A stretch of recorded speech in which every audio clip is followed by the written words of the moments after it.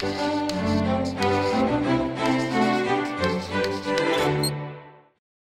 there, I'm Josh Clark and this is Brain Stuff. And this is the Brain Stuff where I talk to you about seeing stars.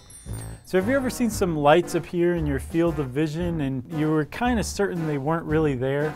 And instead of coming closer and eventually landing and kicking off a really weird experience where you ended up abducted and probed and then dumped in the woods. That didn't happen, and instead you just said these lights went away, they were probably phantoms. Well, then you, my friend, saw what are called phosphenes. So, phosphenes are lights that aren't really there. They're the result of your visual system being fooled in some shape or fashion. And your visual system itself consists of about three main parts, right?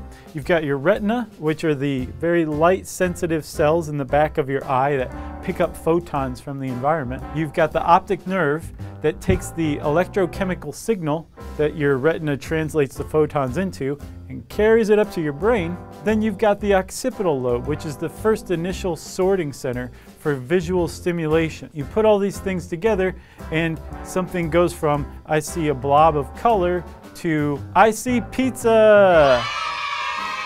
So phosphenes, again, these phantom lights can be produced anytime any part of your visual system is manipulated. And there's two main ways that they can be manipulated mechanical and electrical. So electrical stimulation is basically where, say, you take an electromagnet and run it past your occipital lobe. You can produce phosphenes. It's also been shown to produce phosphenes when you take electrodes and implant them near your optic nerve you can actually produce phosphenes in people who are blind because of a retinal malfunction. That means that the rest of their visual system is working, and if you stimulate it electrically, you can produce these phantom lights, which is pretty awesome. There's also mechanical stimulation, which is like when you rub your eyes like Tom or Jerry. You can also produce it when you press the side of your eye very gently and slowly toward your nose.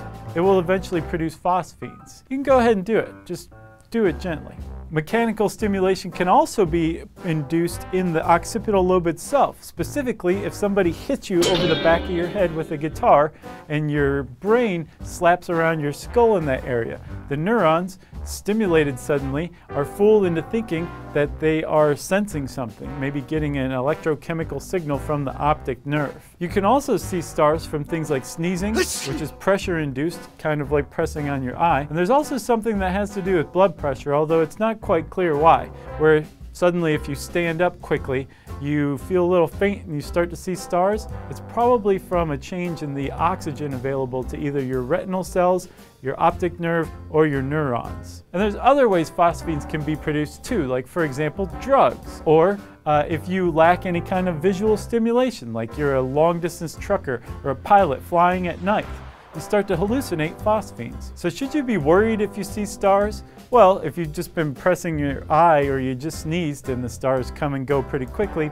probably not. But if somebody did hit you over the back of the head and you're seeing stars, you should probably go to the ER because you may have just suffered a concussion. And if you're walking around and inexplicably see phosphenes all the time, you should also go to the doctor because you may have some sort of underlying medical condition. But for the most part, phosphenes are just kind of cool and not really problematic. So, has anyone ever hit you over the head with a guitar and you saw stars?